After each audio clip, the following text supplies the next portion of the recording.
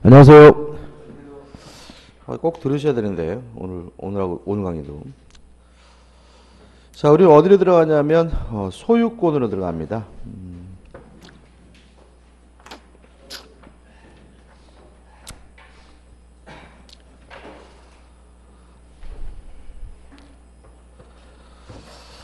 자, 436페이지 보시면 소유권 의의가 나오죠. 어, 소유권이란 물건을 사용하고 수익하고 처분할 수 있는 권리가 소유권이고요.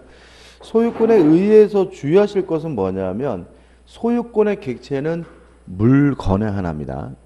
예를 들어 가지고 어, 아파트 분양권은 소유권의 객체된다 그러면 X죠. 왜냐하면 아파트 분양권은 물건이 아니라 뭐죠?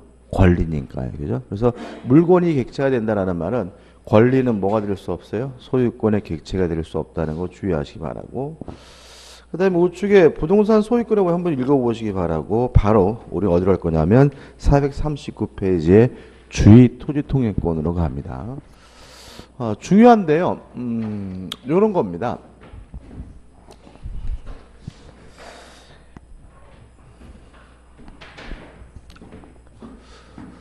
자, 공로로 출입하는 것이 불가능해요. 아니면 가능하다 하더라도 어, 비용이 과다한 비용이 들어요. 이러면 우리가 보통 뭐라 그러냐면 맹지라고 하죠. 그죠? 갇힌 땅이라고 하고 따라서 이런 사람은 어쩔 수 없이 남의 땅을 통행하게 되는데 이걸 우리가 주의 토지 통행권이라고 합니다. 개념 뭐죠? 말 그대로 주위의 토지를 통행할 수 있는 관리 이렇게 되는 거죠.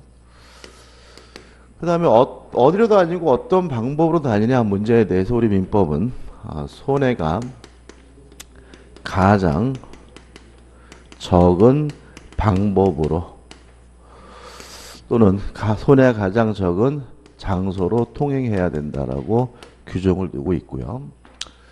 그 다음에 손해가 있다면 원칙적으로 그 손해는 보상을 해줘야 된다. 손해는 원칙적으로 보상을 해줘야 된다라고 규정을 두고 있습니다. 이게 이제 어, 의의고 뭐죠? 민법 조문의 내용입니다. 여기다 이제 우리가 아, 살을 붙이는 겁니다. 판례로.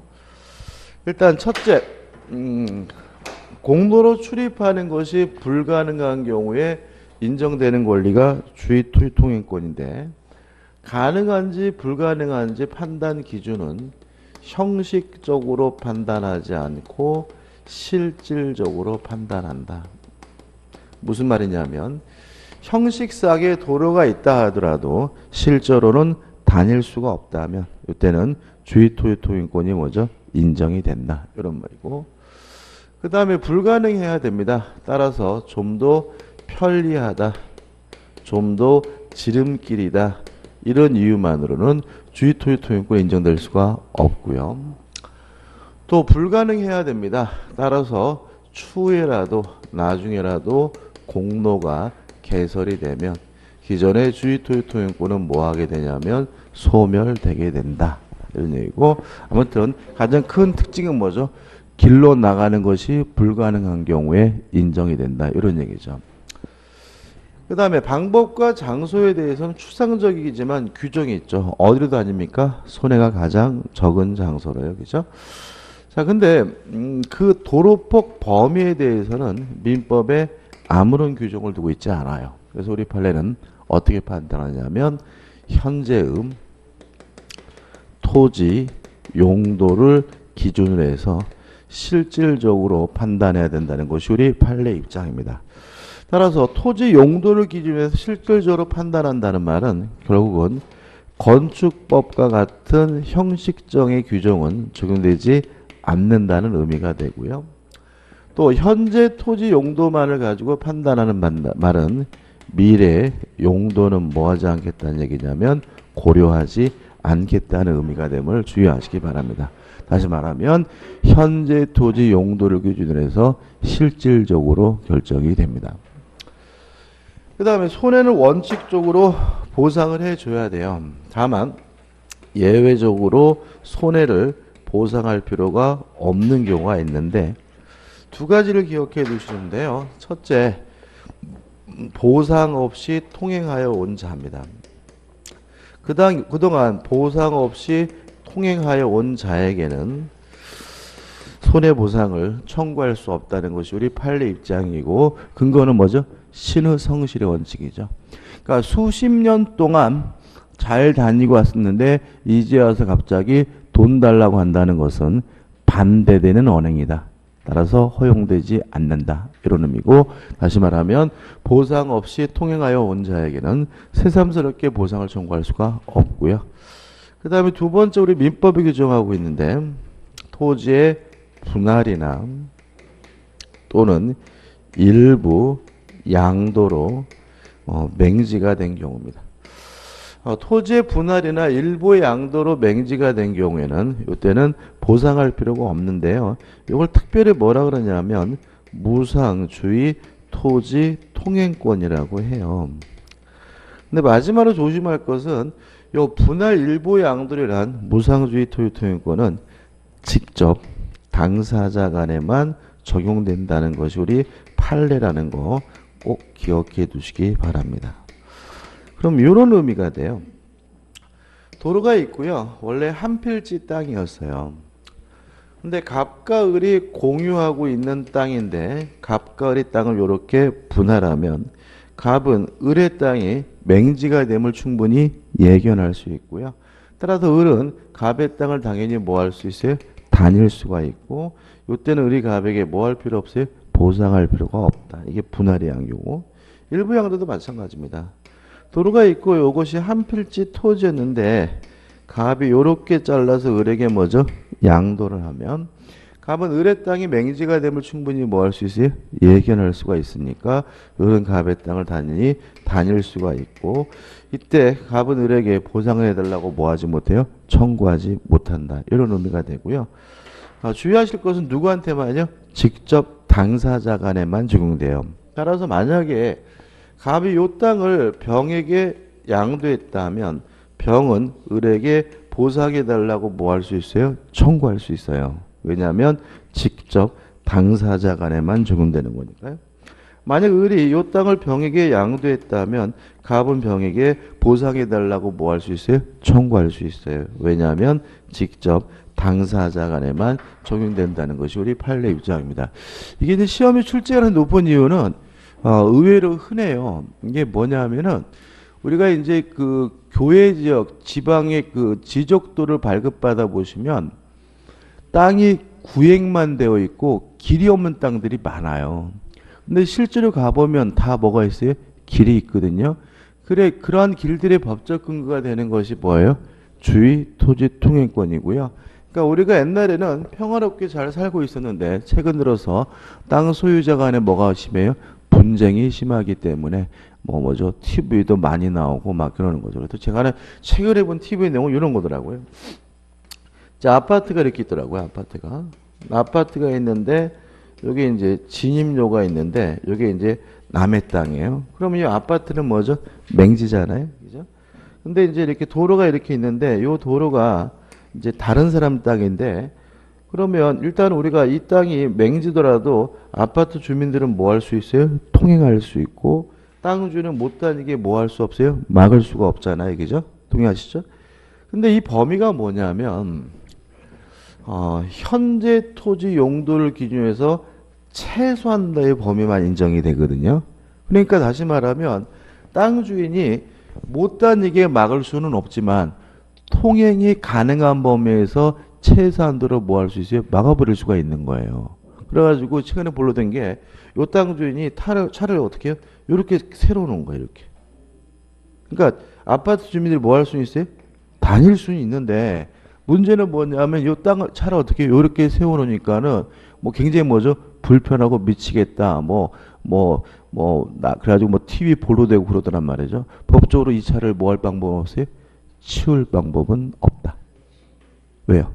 통행이 가능하다면 뭐죠? 막은 것이 아니라는 얘기죠. 그죠? 다시 말해 이거는 맹지인 경우에 최소한 범위 내에서 뭐 하는 인정되는 권리고 따라서 안에 있는 주민들이 불편하다 하더라도 뭐죠? 할 말이 없을 수가 있으니까 좀 생각해 보시기 바라고 이런 것 시간에 굉장히 많이 발생하고 있습니다. 법적으로 뭐 요 차 치울 방법도 없고요. 소송을 제기하더라도 뭐죠? 아파트 주민들이 패소하고 그럼 어떻게 해야 돼요? 요 땅을 뭐죠? 사든지. 근데 뭐 살 때 또 어떻게 비싼 가격을 부르고 그러기 때문에 좀 문제가 있죠. 아무튼 이 정도는 꼭 정리해 두시기 바랍니다. 끝입니다. 그 다음에 440페이지 오시면 5번에 가지고 뭐가 나오냐면 소유권에 취득해서 뭐가 나오냐면 취득시효가 나오고 있죠. 중요한데 일단 이 소유권의 취득은 취득시효는 어 어려울 수 있어요. 어려울 수가 있는데 우리 주택관리사 시험에 문제에 나온다 하더라도 어렵게 내지는 않아요. 일단 좀 생각을 해보죠. 자, 두 가지가 있어요. 점유 취득시효라는 것이 있습니다. 어, 점유 취득시효는 일단 타인의 부동산을 점유하고 있는 사람이 20년 지나면 취득시효하게 되는데 특징은 뭐냐면 20년이 되는 순간 바로 소유권을 갖는 것은 아니고 20년이 지난 후에 등기를 해야 비로소 소유권을 뭐 하게 되냐면 취득하게 되고요. 그 다음에 점유 취득 시효를 위한 이 점유는 자주 점유고 평온하고 공연한 점유여야 합니다. 선이고 무과실은 요구하지 않아요. 그럼 여기서 이제 우리가 엊그저께 했던 거 생각해 보시면 자주 점유이기 위해서는 뭐가 필요하죠? 객관적 외형적 원인이 뭐죠? 필요하다. 예를 들어서 남의 땅깃을 뻔히 알면서 문제가 있다면 자주가 아니라 뭐죠? 타주이기 때문에 뭐 하지 못해요? 취득시효하지 못하고요. 매매 계약 등으로 점유를 했다면 그 사람이 뭐예요? 자주 점유니까 몇 년 지나면요? 20년 지나면 취득시효하게 되는 거거든요. 그럼 여기서 의문이 생기는 거죠. 그러면 매매 계약을 통해서 점유해야 자주 점유고 취득시효한다면 뭔 소리냐? 매매 계약을 통해서 점유했다면 뭐 하면 그만이에요? 매매를 원인으로 이전 등기 받으면 그만이지. 왜 20년 지나야 소유권을 취득하느냐? 이게 이제 중요한 논점인 거죠. 자, 이런 얘기입니다. 자, 우리 저 엊그제 했던 것처럼 매매 계약을 통해서 점유한 매수인은 그 부동산을 점유하고 있다면 그 등기 청구권이 채권적 청구권이라 하더라도 뭐에 걸리지 않아요? 소멸시 걸리지 않아요. 따라서 20년이든 30년이든 지나더라도 매매를 원인으로 뭐 할 수 있어요? 이전 등기를 청구할 수 있고 그러면 뭘 갖게 되는 거예요? 소유권을 갖게 되는 거거든요. 그럼 점유취득시효란 건 뭐냐면 이런 겁니다. 돈 주고 샀는데 시간이 너무 많이 흘러가지고요. 증인도 없고 계약서도 없고 이렇게 입증하기 곤란할 때 인정되는 제도가 뭐예요? 점유 취득시효는 거예요. 그래서 남의 땅을 뭉갠다를 소유권을 갖는다는 것이 아니라 이 사람이 그 토지를 점유할 뭐가 있어요? 이유가 있긴 한데 시간이 너무 많이 지나가지고 입증하기 어려울 때 그것을 구제하기 위한 제도가 뭐라고요? 점유 취득시효다. 다시 말하면 매매 계약서가 있으면 매매를 원인으로 뭐 받으면 돼요? 이전 등기 받으면 되는 거고 매매 계약서도 없고 증인도 없고 입증하기 곤란할 때 그때 인정되는 제도가 뭐죠? 점유 취득시효입니다. 점유 취득시효란 왜 인정되는 제도냐면 입증 곤란을 구제하기 위한 제도다. 이걸 머릿속에 가져가는 거죠. 자, 그럼 우측에 보시면 441페이지에 2번 시효로 취득할 수 있는 권리는 소유권과 뭐죠? 재산권인데 여기 할 수 있는 권리를 기억할 건 아니고요. 2번 시효로 취득할 수 없는 권리를 기억하시는데 가장 중요한 게 뭐냐면 저당권이죠. 왜냐하면 취득 시효하려면 타인의 부동산을 반드시 뭘 해야 돼요? 점유를 해야 되는데 저당권자는 스스로 그 부동산을 뭐 하지 못해요? 점유하지 못하므로 뭐 할 수 없어요? 취득시할 수 없다. 그 다음에 이 부동산의 소유권 취득시에서 점유 취득시에서 1번 취득시에 대상해가지고 전반부에 나와 있는 내용은 뭐냐면 한 필지 토지일 필요가 없다. 한 필지 토지가 아니어도 토지의 일부라 하더라도 뭐 할 수 있어요? 취득시할 수가 있고요. 그 다음 밑에 네 번째 줄 한편 자기 소유 물건이라 하더라도 뭐 할 수 있어요? 취득시할 수 있다. 아, 이게 왜 그러냐면 입증 곤란을 뭐 한 제도요? 구제하게 한 제도죠. 누가 자꾸 시비를 거는데 내게 맞는데 내가 소유란 사실을 입증하기가 뭐예요? 곤란하다면 뭘 주장해도 상관이 없어요? 취득시효를 주장해도 상관이 없다. 따라서 자신의 소유물에 대한 취득시효 가능하고요. 그 다음에 넘겨보시면 도로, 공원 해가지고 국유재산을 원칙적으로 뭐 할 수 없냐면 취득시효할 수가 없습니다. 다만 국유재산 중에서 용도가 지정되지 않은 일반 재산에 대해서만 취득시효할 수 있습니다. 과거에는 일반 재산을 잡종 재산이라고 했는데요. 음, 지금은 어, 국유재산법을 개정해가지고 일반 재산이라는 용어를 쓰고 있죠. 다시 말하면 국유재산은 원칙적으로 취득시효할 수 없고 일반 재산만 뭐 할 수 있죠? 취득시효할 수 있고요. 그 다음에 2번 소유의 의사로 평은 공연하게 뭐 해야 돼요? 점유를 해야 되는데 2번 몇 년간 점유해야 되냐면 20년간 점유해야 된다 이런 얘기죠. 그래서 좀 생각을 해보죠. 자 20년이 돼서 취득시효가 완성되면 바로 소유권을 갖는 것이 아니라 등기를 해야 비로소 뭘 가져요? 소유권을 가져요. 그러면 20년이 됐을 때는 뭘 갖게 되냐면 등기해달라고 요구할 수 있는 등기 청구권을 갖게 되는 거죠. 근데 이 사람은 등기해야 비로소 뭘 가져요? 소유권을 갖는다는 말은 이 사람이 등기 청구권은 뭐이겠어요? 채권적 청구권이라는 점이죠. 따라서 채권적 청구권이니까 원칙적으로 뭐에 걸려야 돼요? 소멸시효에 걸려야 합니다. 다만 우리 판례는 점유를 계속하고 있는 한 뭐에 걸리지 않냐면 소멸시효 걸리지 않는다라고 판시하고 있고요. 또 채권적 청구권이기 때문에 등기 청구권의 상대방은 특정된 사람이라는 의미가 됩니다. 그죠? 자, 우리가 물권은 모든 사람에게 주장할 수 있는 절제권, 채권은 특정한 사람에게만 주장할 수 있는 뭐죠? 상대권이잖아요. 그러면 등기 청구의 상대방이 누구냐? 누구냐면 취득 시효 완성 당시 소유자가 등기 청구의 상대방이 됩니다. 요게 대단히 중요합니다. 그래서 취득시효의 가장 논점이 되는 것은 뭐냐면 누구한테 등기를 청구할 수 있냐 문제고 결국은 누구한테만 등기를 청구할 수 있어요?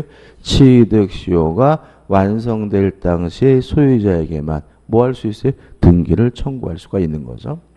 그럼 생각해 보자고요. 자, 등기는 갑앞에 되어 있고요. 점유는 의리하고 있는데 이런 상태에서 20년이 되면 을이 등기해야 소유권을 갖고 을이 갖게 되는 것은 등기청구권이고 누구한테만 등기를 청구할 수 있냐면 20년이 완성될 당시 소유자에게만 뭐 할 수 있어요? 등기를 청구할 수가 있으니까 만약에 17년 됐을 때 갑에서 병으로 소유권이 넘어갔다면 완성될 당시 소유자가 누구죠? 병이니까 병에게 뭐 할 수 있어요? 등기를 청구할 수가 있지만 만약에 21년 됐을 때 병에서 정으로 소유권이 넘어갔다면 정에게는 뭐 하지 못해요? 등기를 청구하지 못하는 거다. 이해되시죠? 그죠? 누구한테 등기를 청구할 수 있다고요? 완성될 당시의 소유자. 아, 표정이 왜 그래? 자, 보세요. 을이 갑에게 1억 원을 빌려줬어요. 1억을 달라 요구할 수 있는 뭐가 있어요? 채권이 있죠. 누구한테만 돈 달라고 해야 돼요? 갑한테. 엉뚱한 병한테 돈 달라면 뭐 한다고요? 뒤지게 맞아요. 그죠? 그죠? 이게 굉장히 중요한 논점이에요. 웃을 일이 아니라. 그러면 생각해 보세요. 자, 지금 이 등기청구권이 물권이 아니라 채권이란 말은 결국 뭐냐 하면, 자, 보세요. 오늘 밤 자정이 20년이 되는 시점이에요. 오늘 밤 자정이. 지금 현재 10시 20분인 현재 저에게는 아직 뭐가 없어요? 등기청구권이 없죠? 채권이 없죠? 그죠? 그러면 저의 채권은 언제 생기는 거예요? 오늘 밤 자정이 되는 순간 저에게 뭐가 생겨요? 채권이 생기니까 그 상대방 채무자가 누구라는 거예요? 완성될 당시 소유자가 뭐죠? 상대방 채무자라는 얘기인 거죠. 따라서 20년이 되기 전에 소유자가 100번 바뀌든 10번 바뀌든 1000번 바뀌든 뭐 신경 쓸 바는 아니에요. 왜냐하면 오늘 밤 자적이 되는 순간 등기부 등본 떠보고 거기에 나와 있는 사람이 뭐가 되는 거예요? 등기 청구의 상대방이 되는 거니까요. 이해되시죠? 그죠? 따라서 그 사람한테만 등기를 청구할 수 있으니까 그 외에 소유권을 취득한 사람에게는 뭐 할 수 없어요? 등기를 청구할 수가 없는 거다. 이게 굉장히 중요한 논점인 거죠. 자, 그럼 이제 교재에 나와 있는 내용을 이해할 수가 있는데 교재에 뭐가 나와 있냐면 점유 개시 기산점은 원칙적으로 임의로 선택할 수가 없다. 이런 말이 나와요. 자, 왜 그러냐면 요 점유 개시 기산점을 을이 임의로 선택할 수가 있으면 얘를 뭐로 바꿔버릴 수 있어요? 완성될 당시에 소유자로 바꿔버릴 수 있죠. 아, 내가 생각해 보니까 요 때가 아니라 1년 뒤였던 것 같은데 1년 늦출 수가 있으면 얘를 뭐로 바꿔버려요? 완성될 당시에 소유자라고 바꿔버릴 수가 있으니까 을은 원칙적으로 점유개시 기산점은 임의로 뭐 할 수 없어요? 선택할 수가 없는 거죠. 규정법과 이렇게 돼 있거든요. 3번 20년간 점유 해가지고 밑에로 세 하나 둘 세 번째 우측 아두 번째 줄 우측부터 볼게요. 점유 개시의 기산점은 원칙적으로 점유가 시작된 때로부터 기산하여야 하고 시효 취득을 주장하는 자가 임의로 선택하지 못한다. 시효 기간 만료 후에 이해관계가 있는 제3자가 있는 경우에는 제3자의 법적 지위가 시효 취득자에 의하여 뭐가 돼? 좌우되기 때문이라는 말은 을이 뭐 할 수 있어요? 선택할 수가 있다면 언제든지 마음만 먹으면 이 사람을 뭐로 만들어 버릴 수 있어요? 완성될 당시에 소유자로 만들어 볼 수 있으니까 안 된다. 이런 의미가 되는 거죠. 예외도 할 수 있겠죠. 예외. 예외적으로 임의로 선택할 수 있는 경우가 있어요. 누가요? 정이 없는 경우에. 다시 말하면 등기 명의인의 변동이 없다면 그때는 어, 을이 어느 시점을 선택하든지 뭐가요? 상관이 없으니까 그때는 임의로 선택하는 것이 뭐죠? 가능하다. 이렇게 되는 거죠. 요 취득시효는요, 결국은 요게 키예요, 요게. 그러니까 왜 임의로 선택할 수 없는지 왜 등기 명인의 변동이 없으면 임의로 선택하는 것이 가능한지 이거 확실하게 내 것으로 만드시면은 아무리 판례가 어렵다 하더라도 그 판례 모든 시작과 끝이 여기에 담겨 있기 때문에 요것만 정확하게 내 것으로 만들면 됩니다. 끝이에요. 그 다음에 음, 4번 등기를 해야 된다. 등기를 해야 소유권을 취득하는데 주의하실 것은 점유 취득 시효는 원시 취득입니다. 따라서 보전 등기를 해야 되는 것처럼 보이지만 실무적으로는 이전 등기를 하고 있다는 거 주의하시기 바라고 2번 취득시의 효과에 가지고 1번 원시 취득이다. 기억해 두시기 바라고 우측 2번 등기 청구의 상대방 누구한테 청구합니까? 완성될 당시에 소유자에게 먼저 청구한다. 3번 소급표가 있습니다. 등기를 하면 소유권을 취득하는데 그 시점은 언제냐면 점유 개시시로 뭐하게 돼요? 소급하게 된다. 그 다음에 3번 취득시효에 대해서도 소멸시효와 마찬가지로 중단 정지 제도가 인정이 되고요. 4번 시효이계 포기도 소멸시효 이기하고 포기하고 똑같아요. 완성되기 전에는 포기할 수 없지만 완성된 후에는 뭐 할 수 있어요? 포기할 수가 있다. 넘겨보시면 이제 뭐가 나와요? 등기부 취득시. 그럼 다 했어요. 그죠? 이 정도만 확실하게 뭐죠? 내 것으로 만들면 됩니다. 깊이 있게 되지는 않으니까요. 그 다음에 두 번째 취득쇼가 뭐냐면 등기부 취득쇼입니다.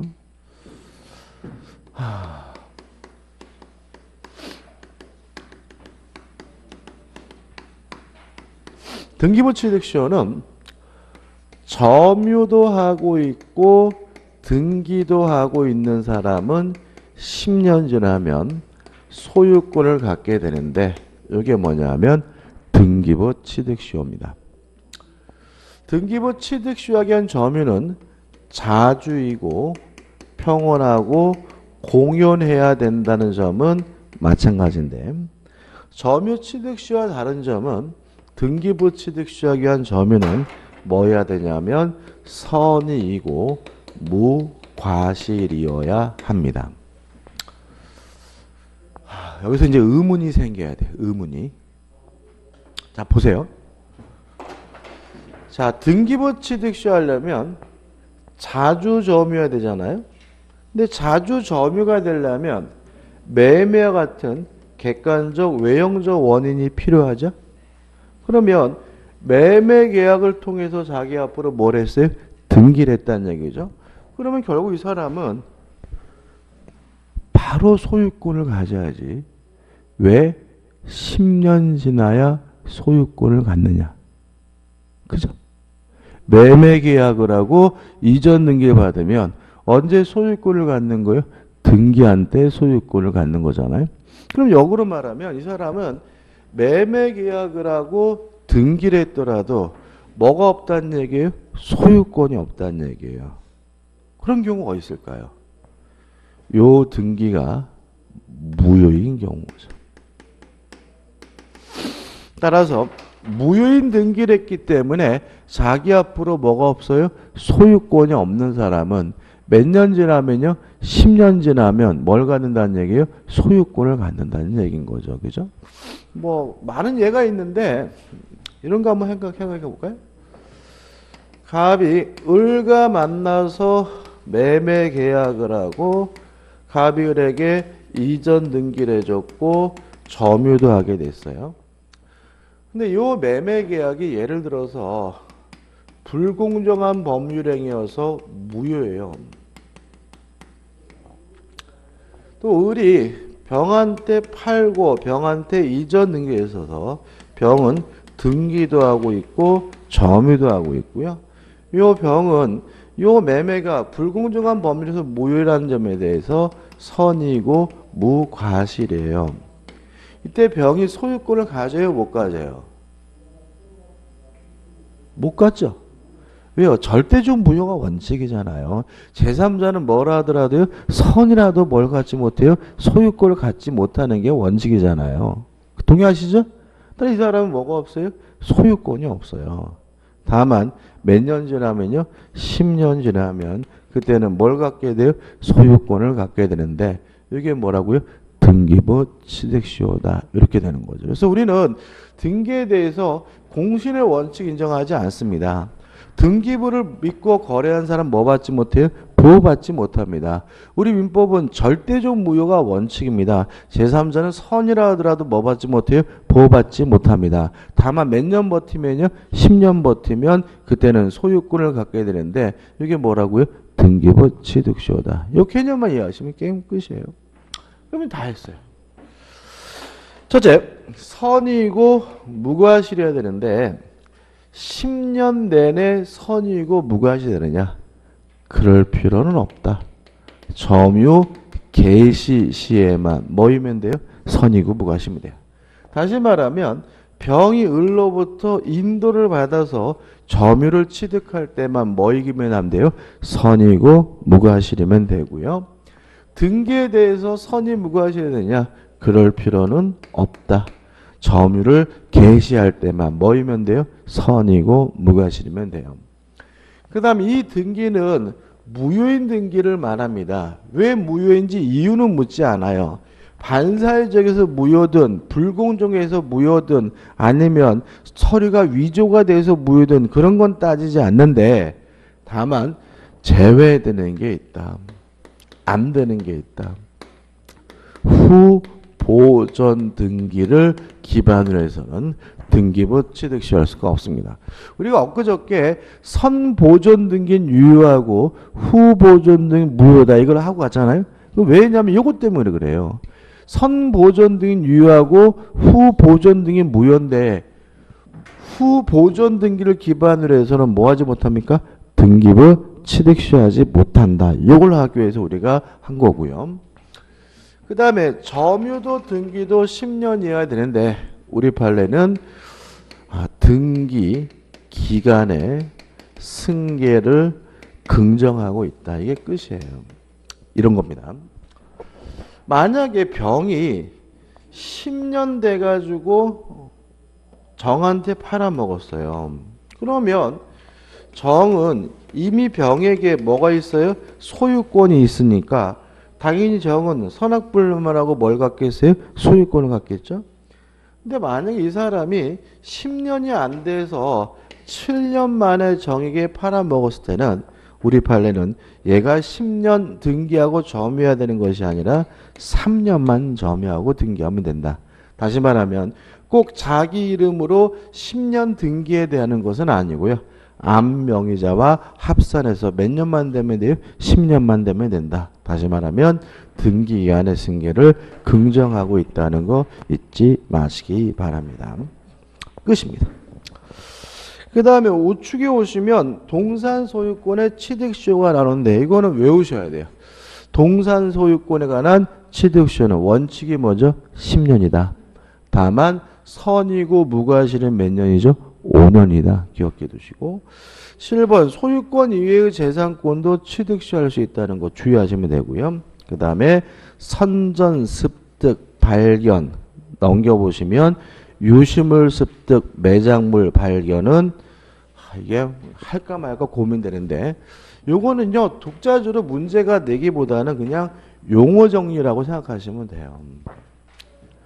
일단 물건을요 주인이 있는 유주물하고 주인이 없는 무주물로 나뉘자고요. 만약에 주인이 없는 무주물이 부동산이면 요거는 국가 소유가 됩니다. 만약에 주인이 없는 물건이 동산이면 먼저 잡는 사람이 소유권을 갖게 되는데 이걸 우리가 뭐죠? 무주물 선점이라고 한다. 그래서 무주물 선점의 대상이 되는 것은 뭐야 합니까? 동산 하나고 부동산은 누구 거가 되죠? 국가 거가 된다. 그것만 주의하시면 되고. 그 다음에 유주물은 다시 둘로 나뉘어요. 유실물과 매장물로 나뉘고요. 나누는 기준은 뭐냐면 발견이 용이한 상태, 쉬운 상태에 있는 유주물을 우리가 유실물이라고 하고요.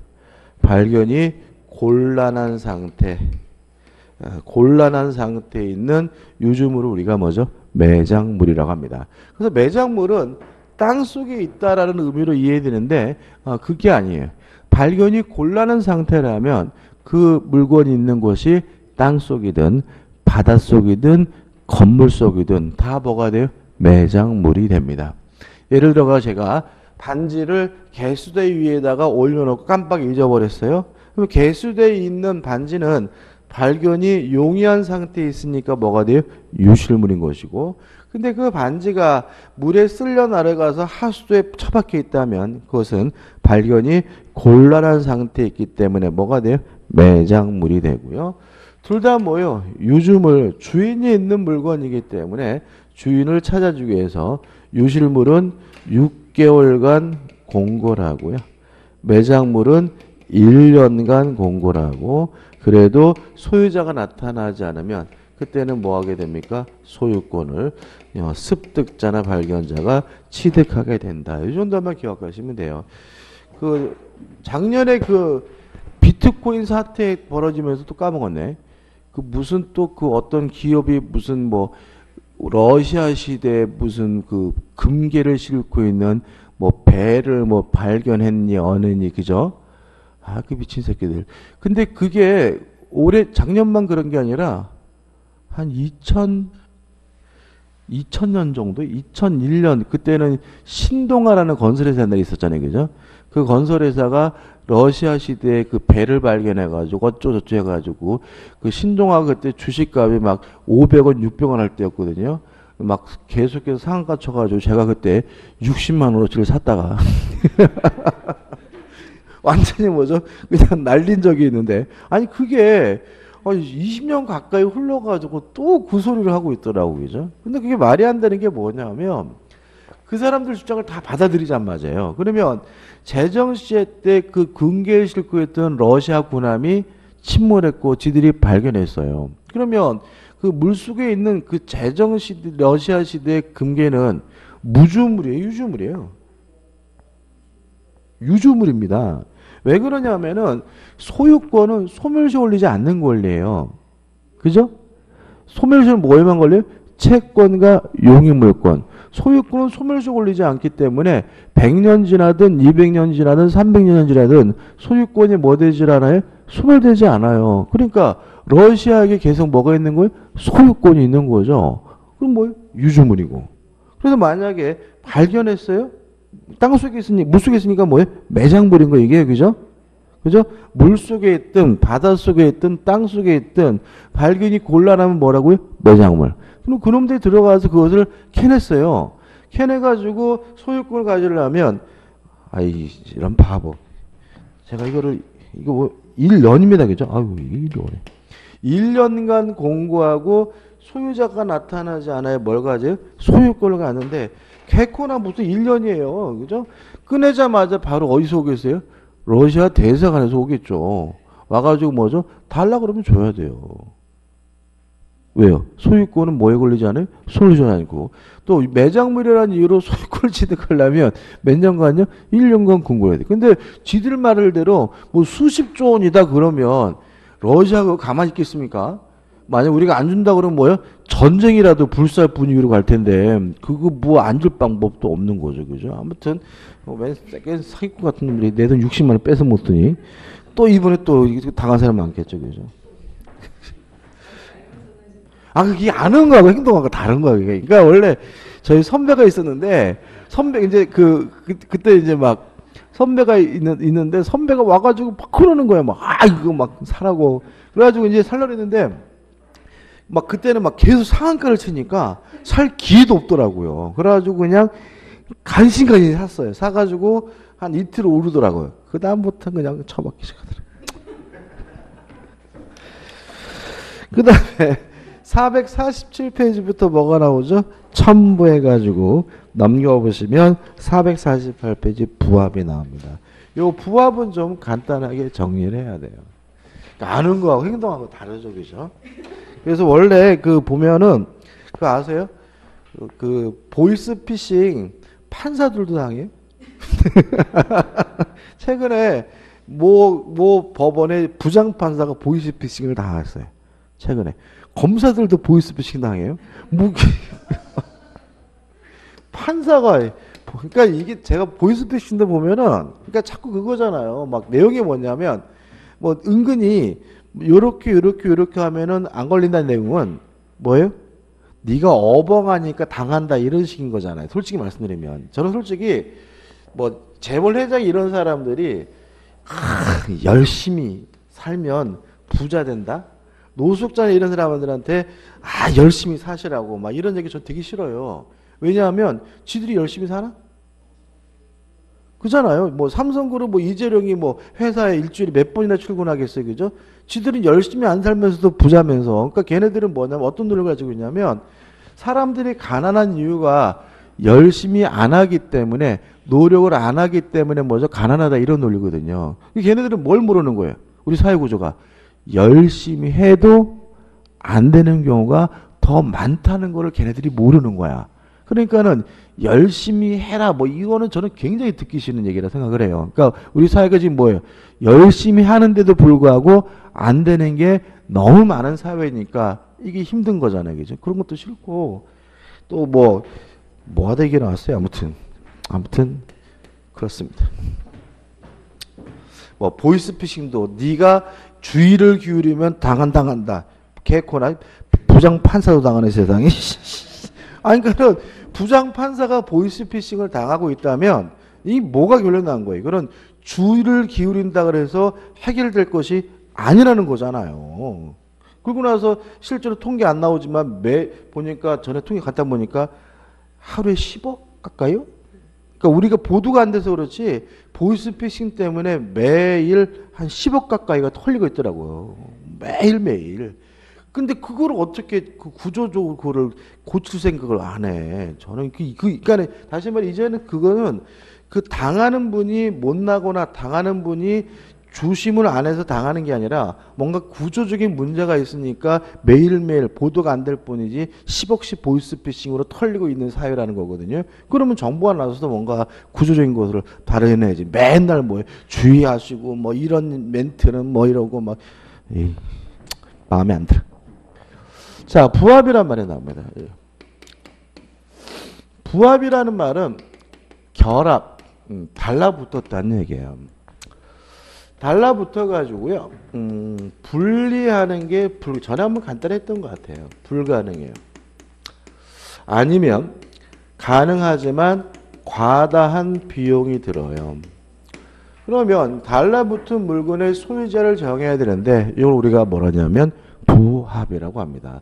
이것도 결국은 독자적으로 문제되기보다는 다른 것과 결합돼 가지고 반드시 문제가 출제되는 부분이기 때문에 좀 생각해 보셔야 되는데 첫째 부동산과 동산이 달라붙어서 떨어지질 않으면 그때는 부동산 소유자가 달라붙은 물건의 소유권을 갖는다. 조심할 것은 가치는 고려하잖아요. 누구께 더 비싸다 이런 건 고려하지 않습니다. 두 번째 동산과 동산이 달라붙어서 떨어지지 않는 경우에는 원칙적으로 두 물건 중에서 주된 물건의 소유자가 달라붙은 소유, 물건의 소유권을 갖고요.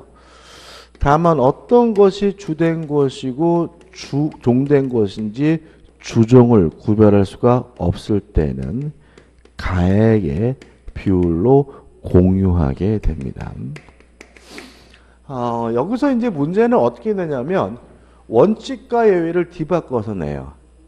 동산끼리 부합한 경우에는 가액의 비율에 따라서 공유한다. X. 원칙이 뭐죠? 주된 물건의 소유자입니다. 가액의 비율에 따라서 공유하는 것은 뭐예요? 주된 것과 종된 것을 구별할 수 없는 예외적인 거니까 주의하시기 바랍니다. 그 다음에 세 번째 부동산입니다.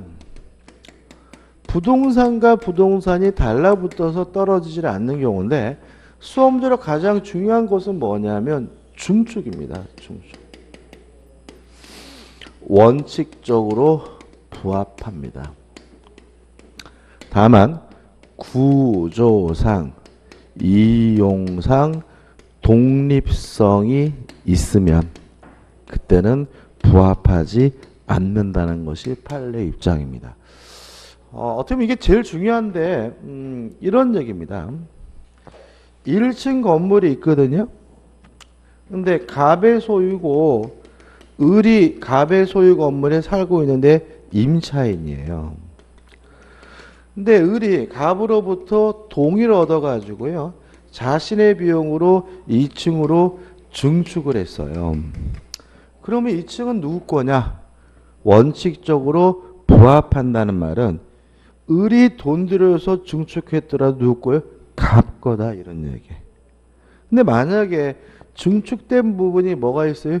구조상, 이용상, 독립성 있으면 그때는 뭐 하잖아요? 부합하지 않으니까 증축한 누구 거가 돼요? 을 거가 돼요. 어, 그래서 이렇게 그, 그 다음에 그러면 독립성을 판단하는 기준은 뭐냐에 대해서 우리 판례는 어, 출구의 독립을 중요시해요. 그래서 만약에 2층을 가기 위해서 1층을 통해서 지나가면 이건 뭐예요? 부합된 거예요. 독립성이 없는 겁니다. 그죠? 근데 만약에 밖으로 출구가 뚫려 있고요. 2층만의 독립된 출구가 있다면 이건 뭐예요? 독립성 있는 거예요. 그때는 뭐 하잖아요? 부합하지 않고요. 일단 기억해 두시고 자세한 건 우리가 임대차 할 때 좀 설명을 드려야 돼요.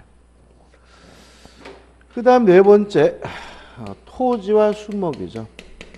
남의 땅에다가 나무를 심으면 원칙적으로 부합을 합니다. 다만 권원이 존재하는 경우에는 그때는 부합하지 않습니다. 자, 이런 얘기입니다. 갑이 소유하고 있는 토지에요. 을이 나무를 심었어요. 이 나무는 원칙에 따라서 뭐예요? 부합한다는 말은 을이 심었다 하더라도 토지 소유자는 누구 거가 돼요? 갑의 것이 된다는 거죠. 근데 을에게 뭐가 있냐면 권원이 있어요. 예를 들어서 지상권이다, 임차권이다, 남의 땅에다가 나무를 심을 수 있는 뭐가 있어요? 권원이 있다면 그때는 부합하지 않기 때문에 누구 거가 돼요? 을 거가 된다. 이런 얘기인 거죠. 근데 마지막으로 다섯 번째 시험 제일 많이 나오죠. 토지와 농작물이죠. 부합하지 않습니다.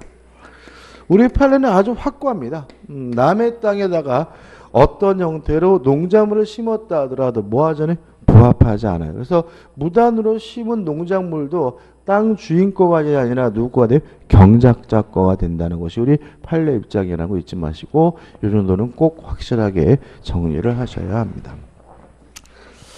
그 다음에 449페이지 오시면 3번 호나가 나와요. 호나라는 말은 섞였다는 거죠.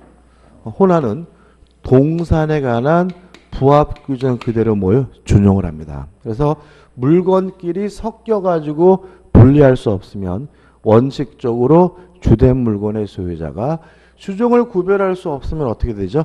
가액의 비율에 따라서 공유하고요. 그 다음에 4번에서 뭐가 나오죠? 가공이 나오죠. 가공은 말 그대로 뭐죠? 가공입니다. 어, 떻게 하냐면 원칙적으로 재료 소유자가 소유권을 가져요. 다만 가공을 통하여 가액의 증가가 현저히 많으면 그때는 누구 거가 돼요? 가공자 거가 된다는 거 기억해 두시면 됩니다. 여기까지 하고요.